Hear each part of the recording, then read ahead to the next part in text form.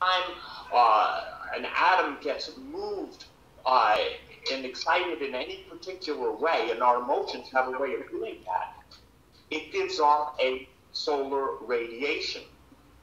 Now, a photon, again, is that smallest particle of identifiable light, and it is a quantum electrical magnetic radiation. Now, scientists have said that uh, they've identified it as a, and I like this, a magnetic moment. So, whenever even bacteria has a magnetic moment, it gives off a radio signal. Now, I hope you're following me on this because I think this is very, very exciting.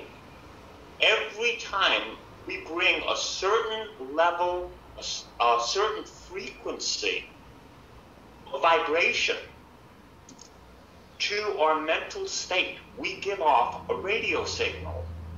That radio signal goes out into the universe and it draws back to us exactly what it is. In other words, it's a, a magnetic moment that pulls or attracts that which it is like.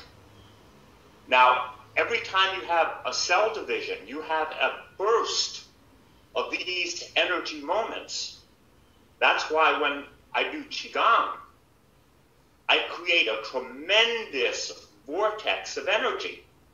And then I send that energy out, and it returns to me with conditions that are like what I sent out.